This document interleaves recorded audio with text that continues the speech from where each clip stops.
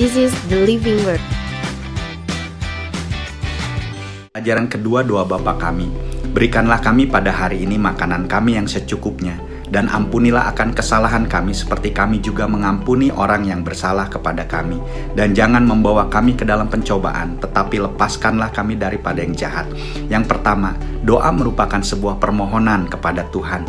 Permohonan yang berkenan kepada Tuhan, belajar untuk mencukupkan diri dengan apa yang ada, tidak serakah sehingga kita bisa berkata kepada Tuhan, berikanlah pada kami hari ini makanan kami yang secukupnya. Yang kedua, doa merupakan sebuah ketaatan terhadap perintah Tuhan. Bukan hanya kita sekedar minta ampun terhadap dosa kita, tapi kita belajar taat melakukan firman Tuhan yang salah satunya adalah untuk mengampuni orang-orang yang bersalah kepada kita. Dan yang ketiga, doa merupakan sebuah kerinduan untuk terus melakukan kebenaran, melakukan firman Tuhan sehingga kita dijauhkan dari segala pencobaan dan segala hal-hal yang jahat.